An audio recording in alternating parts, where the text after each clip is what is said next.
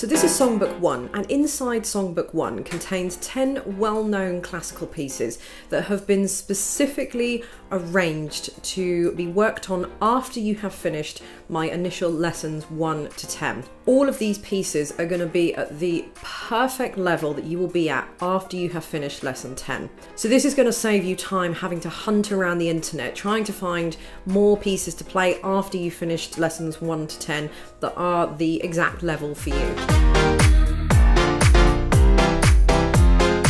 This book is aimed at those people that have finished and completed lessons 1 to 10.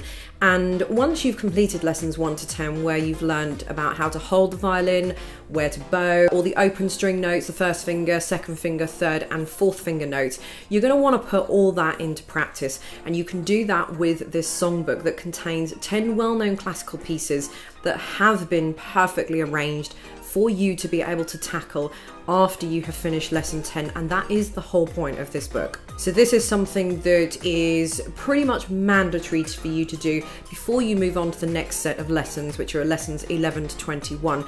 Otherwise you're just not going to be able otherwise you're just not going to have that practice Otherwise, you're just not going to have put those skills into practice so that when you move on to the next set of lessons, your music reading isn't going to be as good as it should be.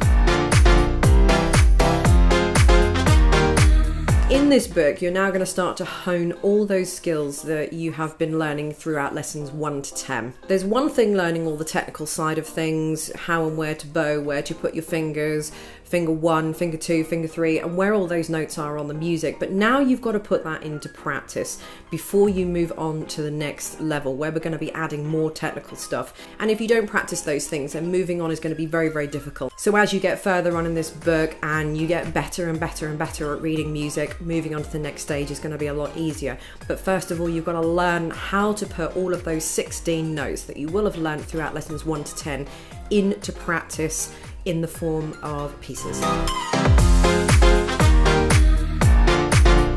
How long it'll take you to get through this book is quite a difficult question to answer because it is going to depend on so many factors. But if you were someone who was very, very dedicated, someone who has learned to play the violin from scratch through lessons 1 to 10, and now you're moving on to this songbook, I would probably suspect that you would be anywhere from sort of three or four weeks playing this. If you're someone who has a little bit of background in music, perhaps you can already play a few other instruments um, or have dabbled in previous years, then going through this book isn't going to take you quite so long. You might not actually have to read the music, so therefore you might just be focusing on actually just playing the violin itself and just getting a good sound and getting a good tune out of the violin.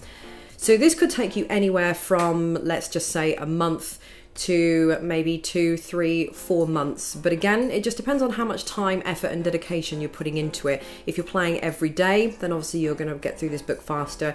If you are playing sort of a few times a week, then it's going to take you a lot longer to get through the book. But for me, time is kind of irrelevant, and I don't like to put timings on things because I think it puts a lot of pressure on people, and it does depend on how quickly people do pick things up and obviously their personal situations. So I would say that just move on when you feel confident enough that you can play all of the pieces in this book to the best of your ability.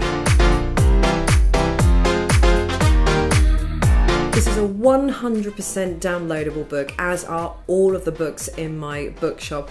Even though I'm showing you a physical book here, this is just something I have just printed out on my home printer and I have just bound together with one of those spiral bounds. But once you've downloaded the book, the book is yours to keep and you can view it on your laptop, your computer, or any kind of mobile device, or like I have here, print it out at home yourself. You also have the option of taking it to your local printers, and for a little bit of money, they'll print it out professionally for you.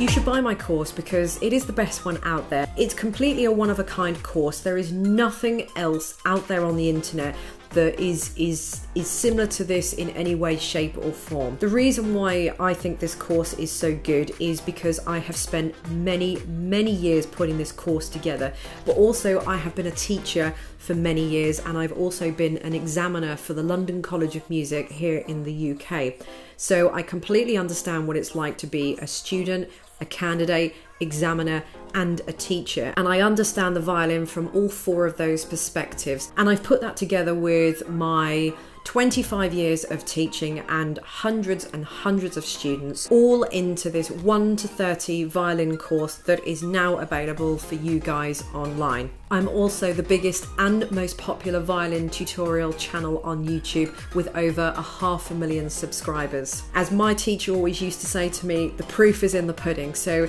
if you don't believe me, go ahead, buy the course, read the reviews, and you will see why this is such a brilliant course. And I guarantee you will be playing in no time. Thank you for watching.